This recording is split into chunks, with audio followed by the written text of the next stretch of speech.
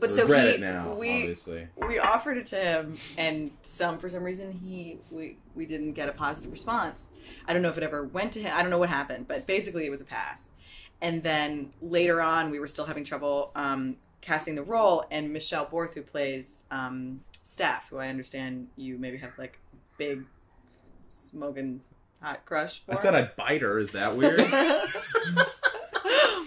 I could ask her if she's into biting. I don't know. I don't know how that. I don't know how that. I mean, works. like she's she's no, she's just like really cool. yeah, she's smart. She's just like she seems really She's smart, smart, and deep. cool. generous, Yeah, it's you know, it's like Funny. Like yeah, like good personality. yeah. Yeah. Um. So she her. called. She knows Desmond, and she called him, and that's how we got Oh, Desmond. Yeah. To finish that story, but we can go back to Michelle if you want. If we could, she's um. She's sexy. what's she like? She Does she smell good? She looks like she smells good. she does smell good. She's also um. She has no problem getting naked all the time. Really? yeah, that's actually true. Um. She's no modesty. Um. It's I good. thought, I That's good. That like helps. that. I thought you would like that. Um, and she's, but she's, she is actually very smart and very funny and very Oh. committed to her work. And she really wanted to do a comedic role, and so that's why she accepted this role. And she was game for anything, and she was really cool. Should I talk about her being naked again Mhm, more? Was mhm. that was that Good. boring? What I just said? No, I just like is there like B roll or like There's deleted a lot. scenes? There's a lot of people. They're actually actually on the DVD, which isn't, which should be out very soon. Um, the majority of the deleted scenes is her material, um, because it's all great and she did a great job. But in order to sort of keep with Oona's storyline and and keep it keep the pacing going, we ended up having to pull out a lot of a lot of her stuff. well, and actually, that was one of the things. I'm sorry to jump Yeah. in. Um, you know, uh, from from from like the artistic standpoint, looking at the the sort of overall story arc, um, there definitely seemed to be sort of a conscious decision to.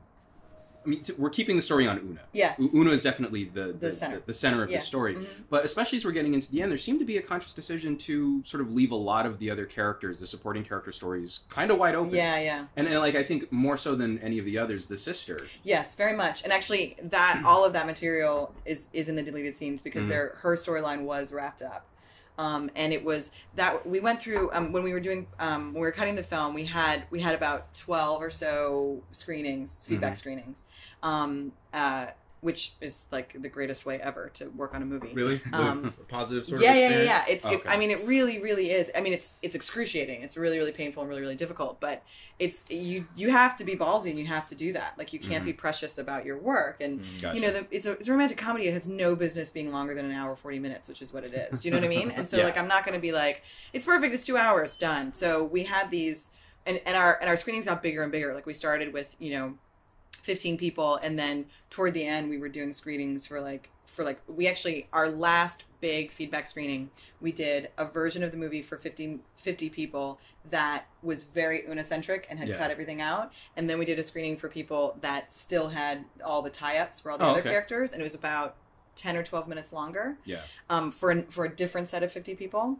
and then we examined the results and the other the other one with all the other storylines um, everybody complained about length and Gotcha. pacing Oh. and then in the first one every once in a while people would be like oh i wish i knew what happened to the sister and oh Mhm. but we you know it was a sacrifice that Yeah. ultimately i mean ultimately it's my decision but but we as a creative team decided it was we had to go with what was right for the core story um, and yeah, and, and leave things open ended. But the beautiful thing about DVD is that like the, all of the that story work gets a second life, and Gotcha. anyone who's interested in these other storylines gets to And see what and what, so- what the intention was. And so on the DVD are is is it like special features fodder? So yeah. it's not like you did a special director's No, no, cut no, no, no, no, no. Okay. Because I don't, I, I don't really believe in director's cuts. For me, um, I mean, the movie exists. That's Yeah. how it is.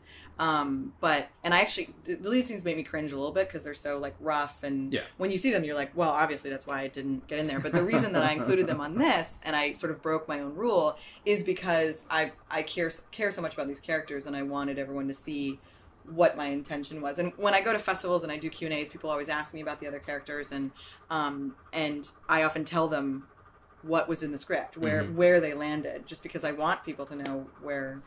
Where you had intended Yeah, to yeah, take that yeah, kind of stuff. I have a question. this the premise Mhm. for Timer. Yeah. Where did this come from? Um, yes. Um, I came up with the idea. Um, well, actually, I'm going to tell you the truth. I have a, um, I have a, I have a standard sort of thing that I do, but I'm going to tell you the longer version because we've got some time. We- We're cool. I actually came up with the concept like in my early 20s, but it was like a really, really sci-fi thing. In um, in college, I wrote my thesis on dystopian literature. I'm Mhm. kind of a sci-fi nerd, and um, and so I it was way it was it, like people had timers and they were like um, right here, like there were these things, and they everyone dressed the same, and it was very like, Logan's running. yeah, it was a little Logan's Running. It was a, it was a, um. There's a film called We. It's a Russian novel. It's one of the first dystopian novels, and it was it was sort of informed by that. Everybody lived in these like glass houses and wore the same clothing and lived in the structure, and and it was actually very cool because the community was surrounded by this big wall, and outside was was you know nature and But there was a Hairiness. poison. um no the the um you can read we it's actually a very convoluted plot but anyway i wrote my part of my thesis on it but so it was very it was like that and then i just wrote it in a journal and didn't really think about it and then years later um four years ago to be exact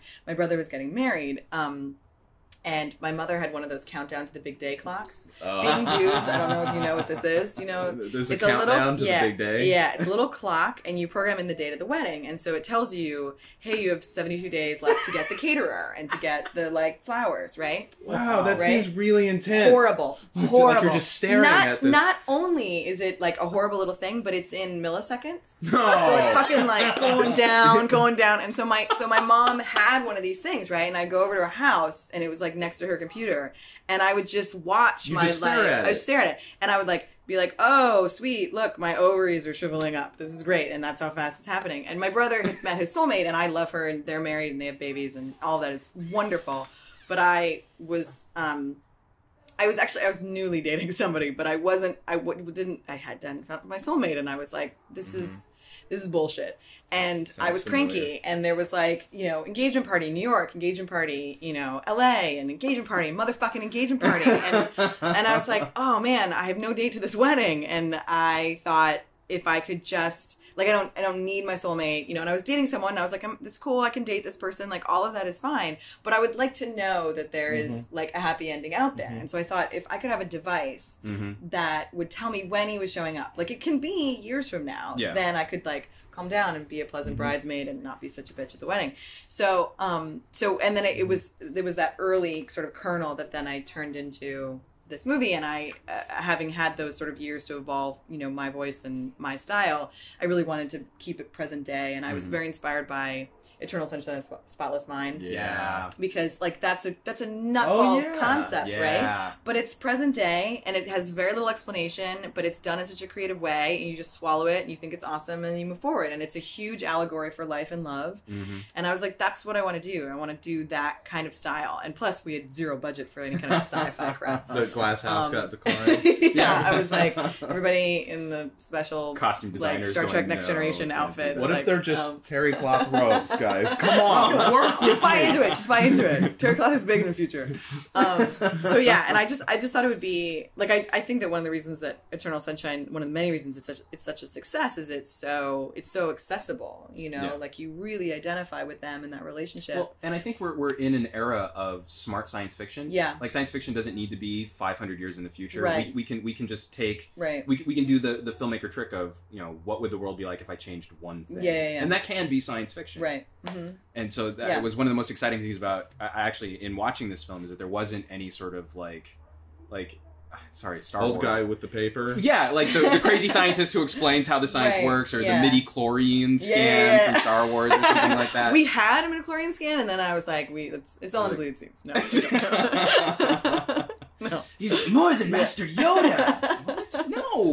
No, I, Yeah. I agree. I think that was a really good decision because part of me wants to like start uh, dealing with the fact that the timer is predicting the future Mhm. and timelines, and if there was any hint of like like an old guy like, oh well, you see, time Right. is parallel universes, then that would have flipped the switch and it Mm. would have made me nuts. Right. Yeah. Well, because I it, actually we were interviewing people to do our behind the scenes featurette, and Mhm. this one team came in and they were like, "We thought we could do like a whole featurette on your research for this project, all your scientific research," and I was like, "Right." yeah. So it would be a three second um, behind the scenes featurette.